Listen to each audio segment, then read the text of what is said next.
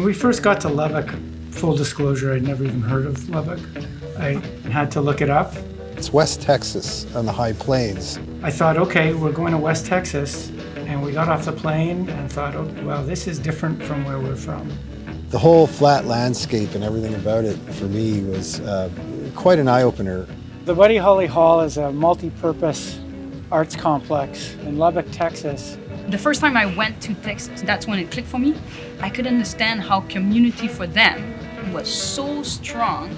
You want to create this. That area birthed so many incredible musicians. The people in uh, Lubbock say if music lives in Austin, it was born in Lubbock. And they had never really had a truly great theater. I think we began to understand what Lubbock, Texas is, where we were.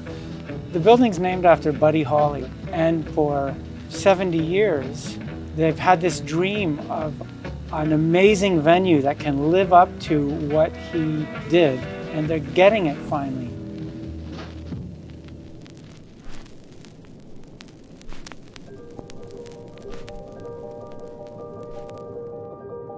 In any good design approach, one takes into account context and content.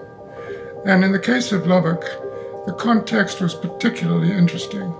A whole swath of the town had been wiped out in a tornado in the 1970s and had lain pretty fallow for a long time. A group of citizens got together to do something to improve the quality of life in Lubbock, and that was to put this performing arts center right in the middle of where the tornado had swept through and demolished the town. The building's fundamental to their community. We want to feel that the building is issuing an invitation 24 hours a day, 365 days of the year. It's an invitation to visit. You start to feel the magic of a performance as you walk from your car. And the architecture takes that and with, with study and care and playfulness has made it into something that feels both at home in that environment, but also really novel. And so we have a contemporary piece that is the focal point to connect all of the public areas as you come in. And it, in a sense, gives coherence to movement. The idea of having that cluster of components around a common space is really vital. The point of a theater is to bring you close to beauty. Creating an intimacy between audience and performer is crucial. The audience should have a sense of itself, and thus the horseshoe form, where the audience looks across at itself, is a very important social dynamic. Fundamental to the work of Diamond Schmitt is this idea of a connection between people. There's nothing in that building that doesn't speak to its social dynamic, to its cultural component. So, in a sense, this public space is a public plaza. To have something that was that versatile feel like for any one of those uses, you couldn't imagine a better space. And I hope we've captured that feeling in the building.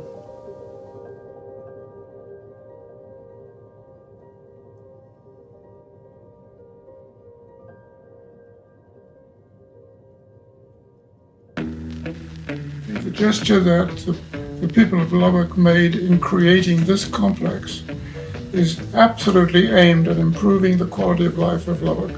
Texas time is slower and it's deeper. So I remember, you know, we were walking from the airport and the, the comment was, this smells like wide open. This was quite unique. Even from outside, from the landscape, your journey begins. The fact that we embraced that in the design, I think already differentiated itself. Growing up there. There's a lot of great venues in Lubbock, but not quite to the scale and to the um, caliber that um, Buddy Holly Hall is going to be. Jose Trinidad sounds like a secret agent name. Yeah, it is. Awesome. He is. He is. That's awesome. they found out. They found out.